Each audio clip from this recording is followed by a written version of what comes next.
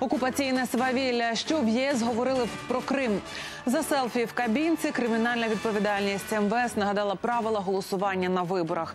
18 акторів і безмежна любов до сцени. Історія одного аматорського театру.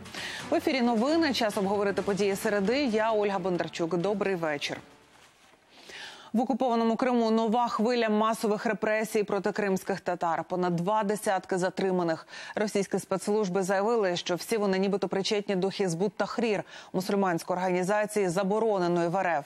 Від п'ятої ранку співробітники ФСБ та Росгвардії оточили, обшукали понад 25 помешкань кримських татар у Сімферопольському районі і сусідніх селах.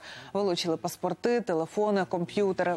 До сель нікого не пускали, і адвокатів теж шукали заборонені матеріали. В одному з будинків, ніби під замовлення, на видному місці знайшли літературу буцімто радикального змісту. Господаря затримали. Його рідні переконані, книжки підкинули самі силовики. Уважаемые граждане, я предлагаю вам разойтись.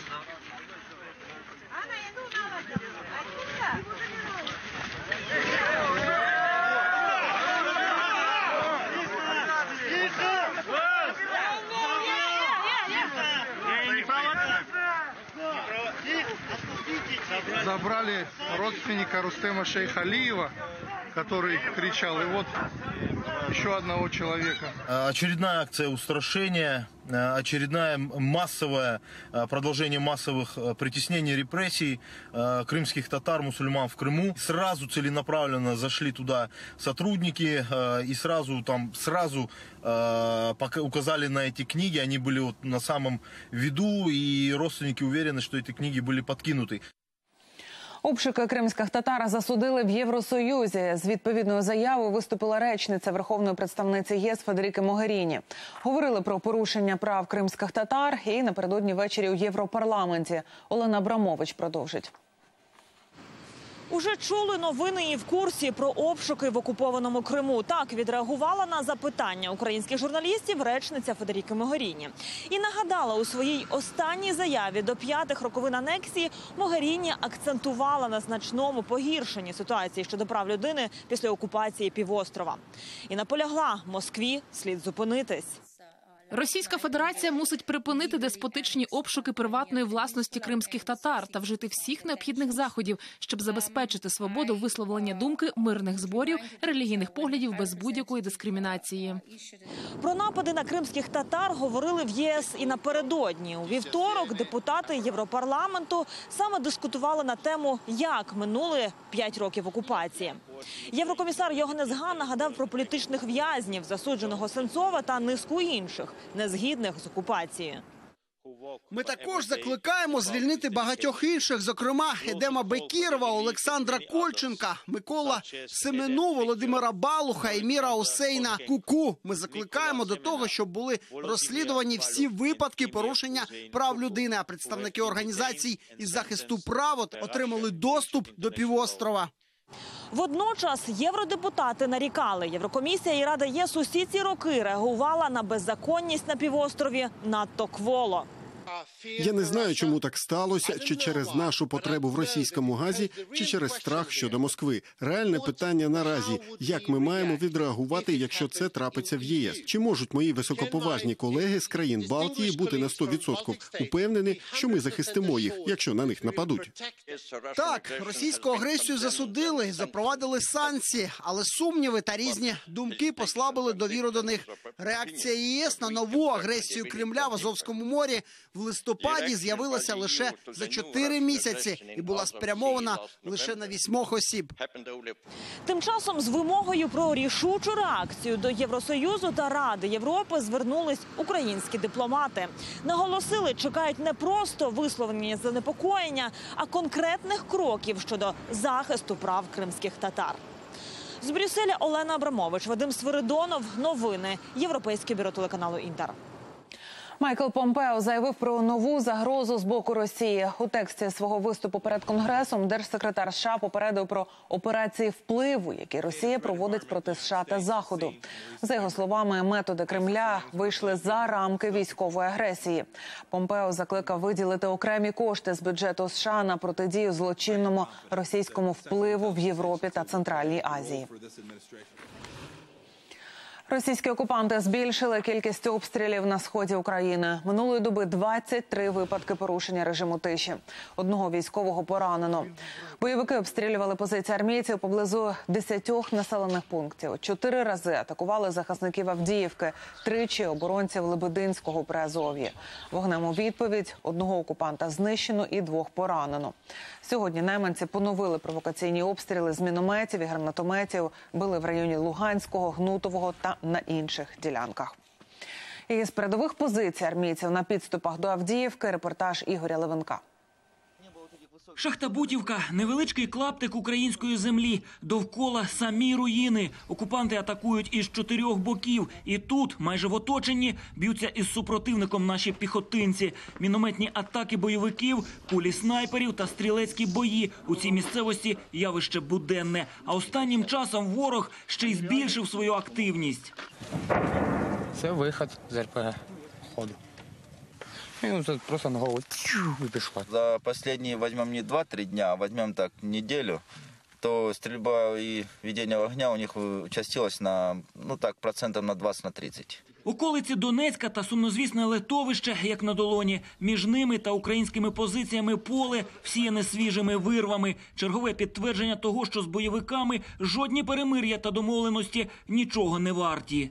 СПГ, 80 и выше калибр. То есть это чувствуется. Армійці запевняють, окупанти розуміють тільки мову зброї. Щойно отримують по зубах, обстріли вщухають. А давати відсіч наші солдати вміють. Ось так нещодавно вгамували ворожого кулеметника.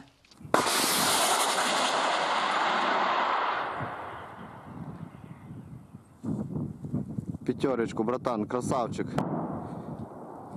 Бо вже стоять на місці не годиться. Думаю, що вистачить сил. Є запал у людей, але мінські домовленості.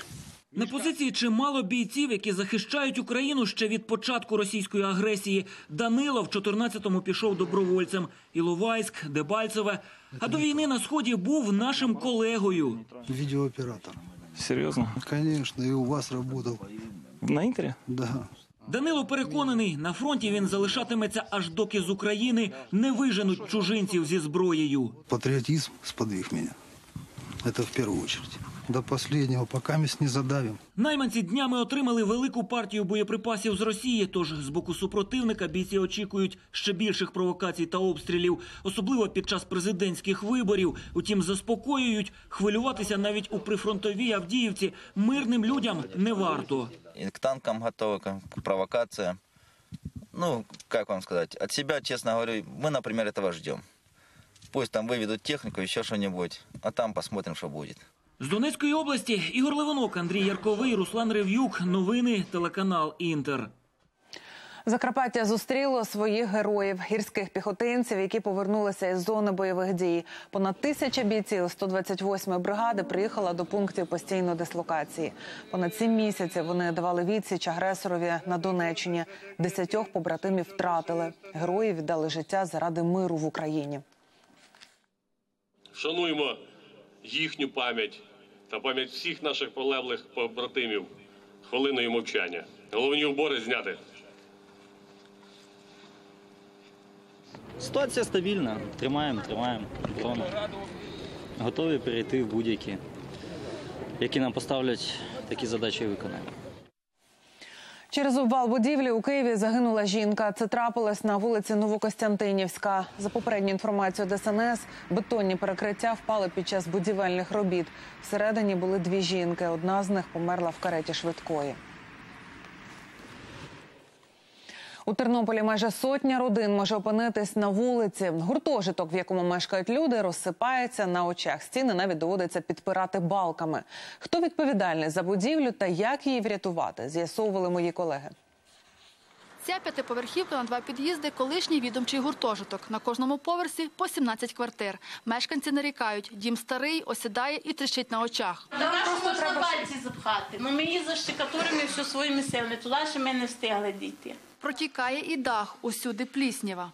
Бачите, в мене так пішло тут, ну тут то я весь час мию. Мию білизною, і так воно пішло, і воно вже пішло по тому, ну я час від часу його змиваю. Бо то неможливо цвиль, ви розумієте, цвиль, в хаті цвиль. Бокова стіна вже другий місяць тримається лише на дерев'яних підпорах і будь-якої миті може обвалитись. Якщо ви бачите оці цеглини, зараз ми подивимося буквально на сусідній стіні, вони зроблені без перев'язки. От йде суцільна цегла, тут буквально перев'язка тут десь на рівні, де вона пішла? Отут.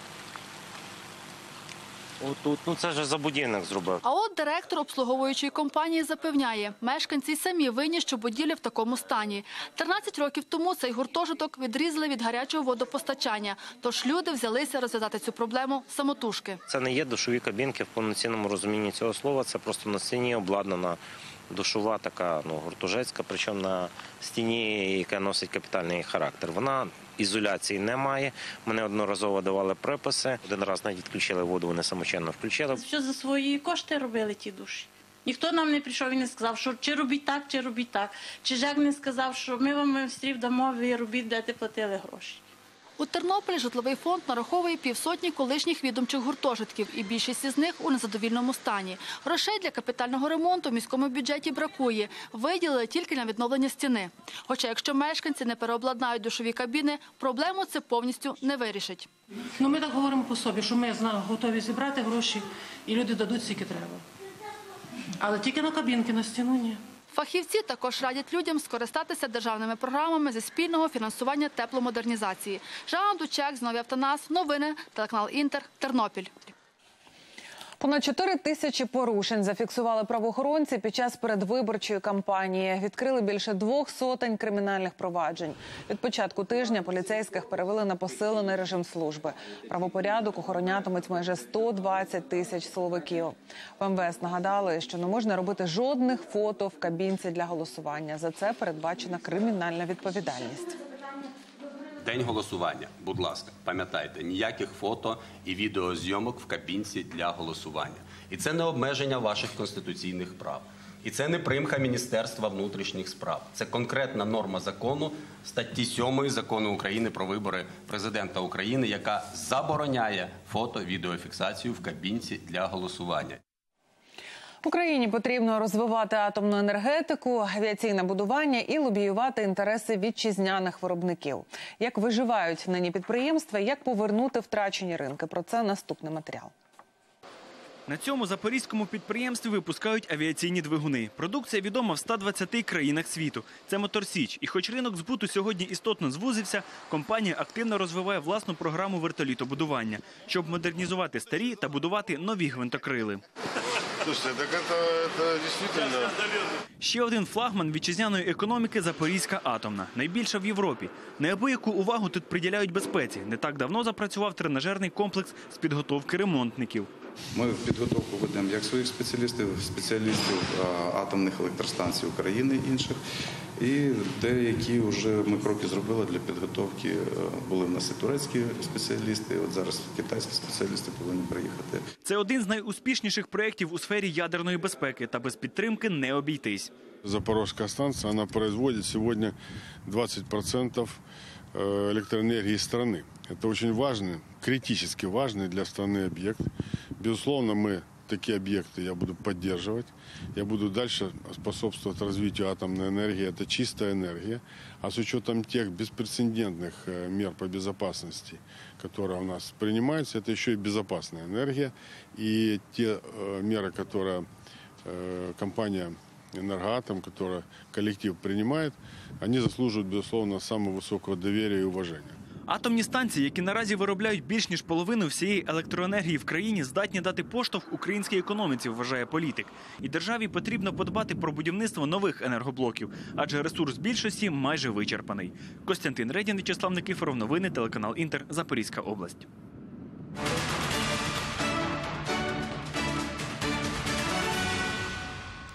Сирія закликає ООН провести екстрені дебати Ради безпеки через визнання штатами суверенітету Ізраїлю над голландськими висотами. В Дамаску вважають, це рішення суперечить міжнародному законодавству. Засідання відбудеться вже завтра. Нагадаю, в понеділок Дональд Трамп підписав декларацію про визнання голландських висот територією Ізраїлю. В ООН це гірське плато вважають окупованим.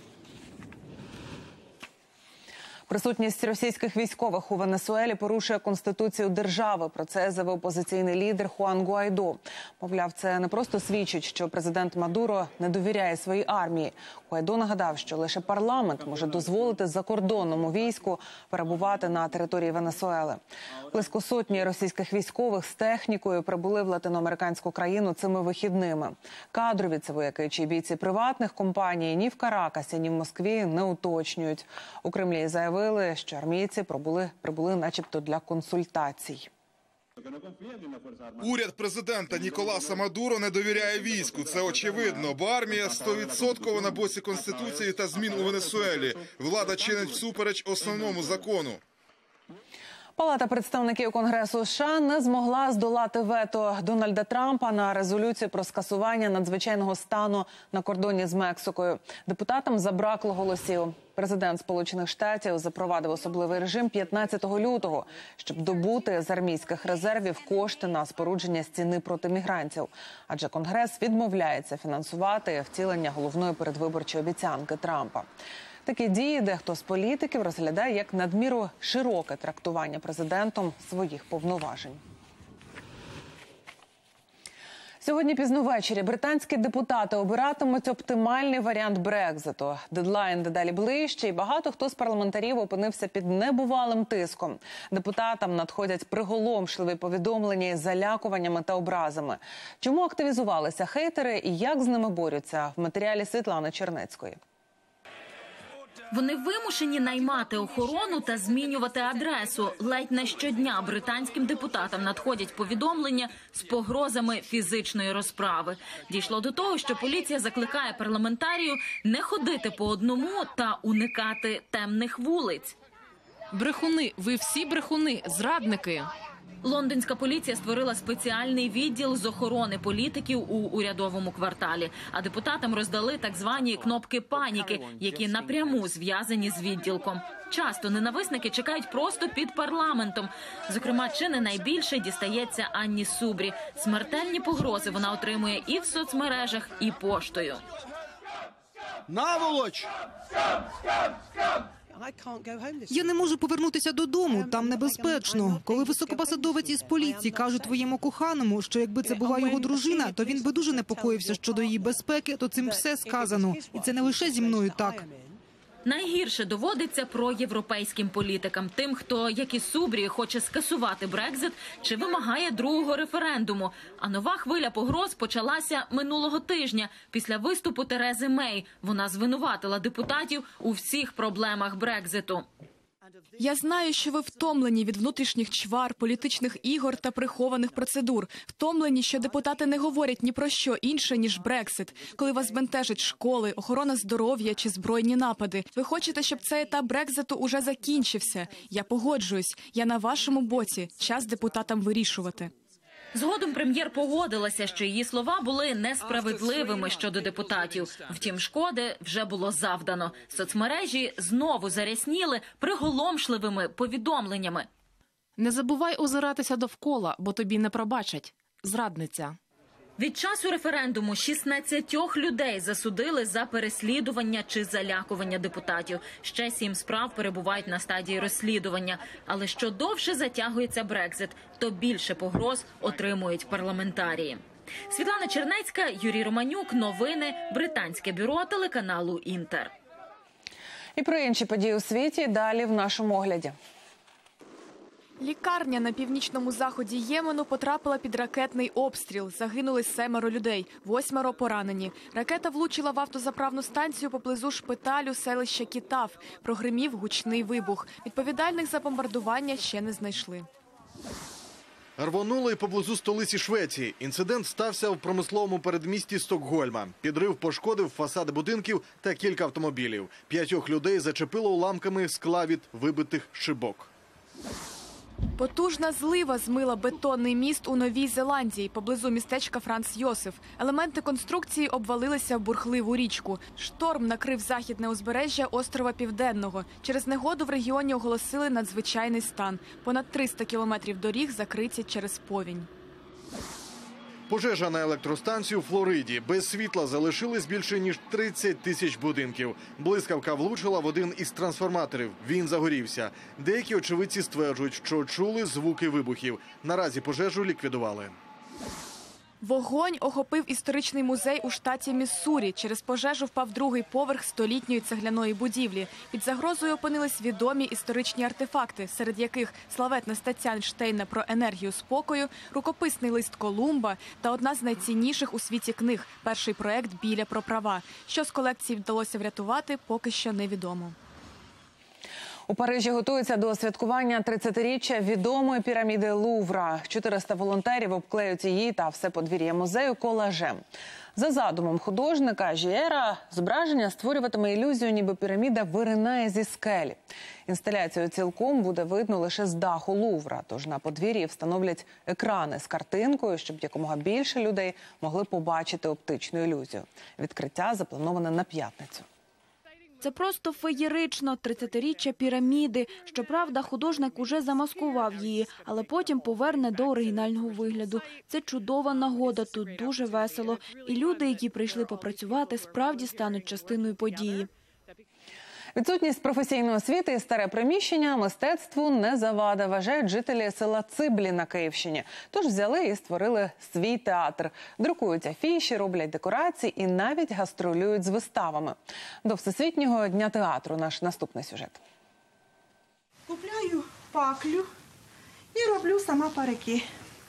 Ось тут беру свої колготки капронові, надіваю на трьохлітрову банку і шию парик. Наталя Мостова усе життя працює медсестрою. Та окрім роботи у шпиталі, жінка освоює інше амплуа. Уже четвертий рік керує театральною студією. Її створила разом з подругою, щоб привернути увагу громадськості до жахливого стану сільського клуба. Капало на сцену і сніг, і дощ, як ми е, були на репетиціях, потрохи пол, даже, бо не можна було й ходити. Вже багато зроблено з появою нашого театру, але і ще треба дуже багато коштів, десь мільйонів п'ять, щоб зробити тут кришу. Вони, хоч і називають себе аматорами, та запевняють, у Циблівському театрі все по-справжньому: кольорові афіші, професійний грим, яскраві декорації. З костюмами та реквізитом частенько допомагають односельці. І, хоч на виставах у залі яблуку ніде впасти, вхід для глядачів завжди вільний. Це все на ентузіазмі. Костюми перші шилися за свої кошти. Далі потім ми робимо благодійні вистави, як скриньку ставимо, хто що кинув, і тоді ми вже витрачаємо е, ці кошти на ті самі костюми для наступної вистави. Постійний склад театру 18 акторів, найменшому 9, найстаршому 75. Усе, що їх об'єднало разом, безмежна любов до театрального мистецтва. Наша сільська інтелігенція. Е, Є і вчителі, медсестри. В минулому головний зоотехнік нашого колгоспу, студенти. В масовці студенти. Директор будинку культури, наш звукорежисер. Я із семи років е, граю. Щоб бути актором, потрібно е, вивчити слова і гарно їх розказувати виразно. Поміж аматорів є у трупі і справжній актор. До війни на сході Микола Кривошея 34 роки грав у професійному театрі. каже, теперішніх колег по сцені оцінює дуже високо. Це, хоч і аматори, але вони прекрасні люди. Ірина Петрівна, Анна, мені дуже легко з нею. Боря це Михайло. Йому треба було в театральний інститут поступати. Він дуже талановитий хлопець. У репертуарі театру три вистави за п'єсами українських класиків. Наразі актори працюють над четвертою та гастролюють сусідніми селами. Юлія Касян, Дмитро Курченко. Новини телеканал Інтер. І на цю годину у нас все. Дякую вам за увагу і до зустрічі завтра. Гарного вечора.